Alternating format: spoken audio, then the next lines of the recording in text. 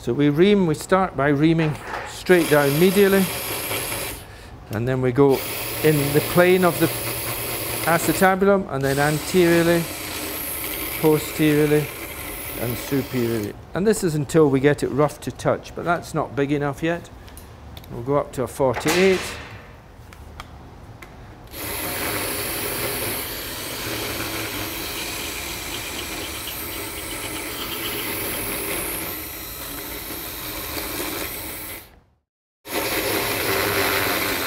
I can just take a little bit off here. By taking out this piece of bone here, we end up with this superior cement bone interface being horizontal or upwards medially, and that means that it's loaded in compression and not shear. It will increase the area of contact of the cement to the bone, and it gives the surgeon a tactile point to feel when he's manually pressing the cement into the bone, avoiding the medial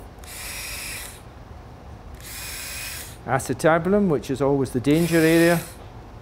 We work our way around from the symphysis all the way around to the ischium.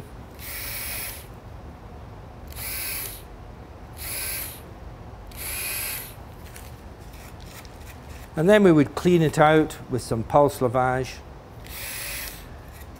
and possibly peroxide or adrenaline.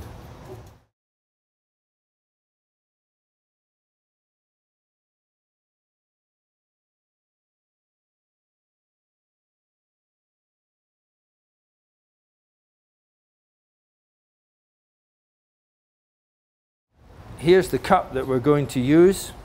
I've reamed to a 48, so I'm going to use a 40 socket. There's a wire marker on the socket. We turn it upside down, and the wire marker goes in the hole, rotated round, and it clicks into place. Now either I'll do this while the cement's being mixed, or the nurse will do it if I'm dealing with a bit of soft tissue that's in the way, or anything else while she's standing waiting. It doesn't matter who puts it on. If we take the cup holder, we're doing a left hip, so we want to see the letter L on top. That fits on. When it goes in, the long posterior wall is posteriorly. We ream to 48, I'm going to cut about 50. And it, the easiest way to do it is to cut it upside down with plaster scissors. Don't try and use Mayo scissors because they won't cut this plastic. Plaster scissors do it very nicely. And you can actually lean the scissors against the inner cup and round it goes. You get your rim of plastic coming off. You can check the position of that and it fits just inside the bone of your acetabulum and that's the position it's going to go. And by reaming about 8 millimeters more than the cup, you have a complete cement mantle and you won't bottom out. The flange I'm looking to see where it's sitting once it's in place and there should be a little rim of bone anteriorly, superiorly and posteriorly and by doing that you won't get psoas impingement on these patients.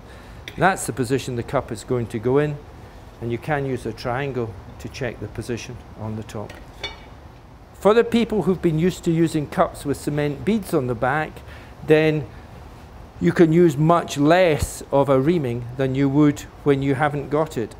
If you use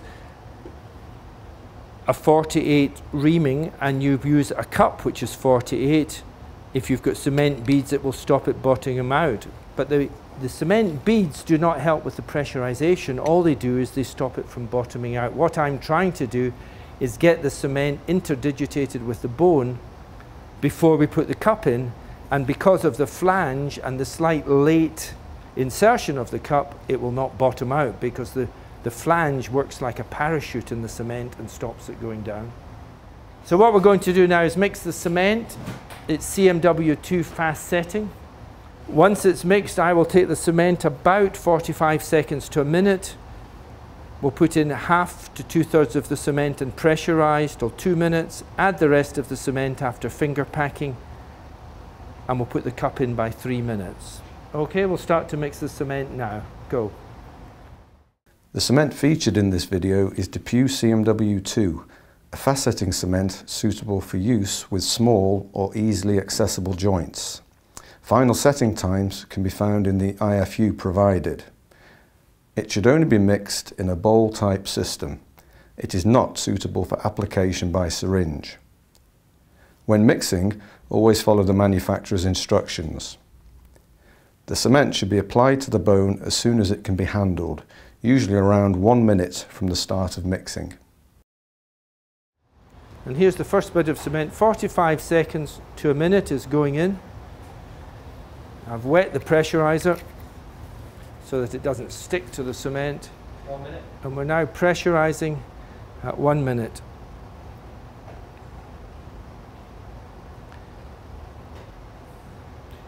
You've got till about three minutes to have the cup in position.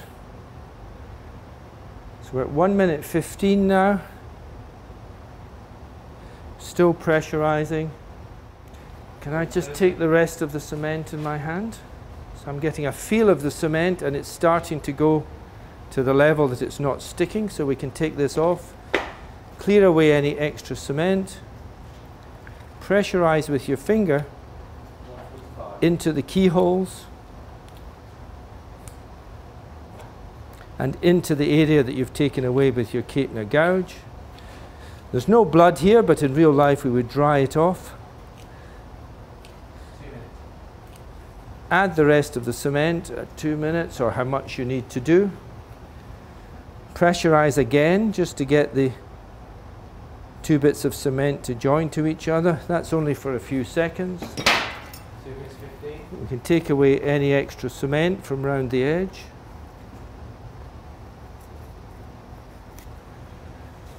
And now the cup, it's 2 minutes 15, the cup's going to go in. The cup goes in in a closed position. We go in as far medially as we can. You can see the cement coming around the top of the cup. At that point, I just press the cement under the flange and without pushing on the cup, bring it into the correct orientation. And now I'm just holding in position. Faye, can you come in and hold the cup holder for me? It's 245. The cement is going. We can get rid of the extra cement. And now I'm feeling with either a Kochers or a McDonald's, have I still got that little bit of bone front, superior and back? which I have, and that means I know that we're in the right orientation. You take the pusher, I can check at the top, hand away. The orientation, this is a 30, 60, 90 triangle, which means I'm anteverting about 35 degrees. Off you come with that one. In we go with there. That's for you. And we're three and a half minutes. We can take away any extra cement, and the cement is nearly set. We've still got a rim all the way around. We know we haven't bottomed out. That's the practice position that we were in. And the cement is just at the stage now coming up to four minutes when it's quite hard to indent it.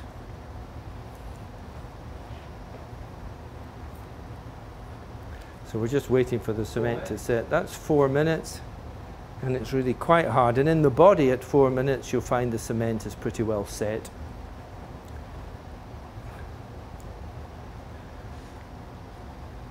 That's not going to go anywhere now. 415.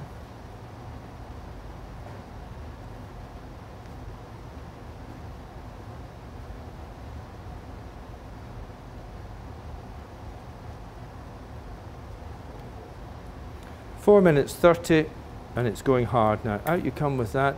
Check round there's no bits of cement. Check there's no osteophytes and if they are take them off and that's your cup cemented in position.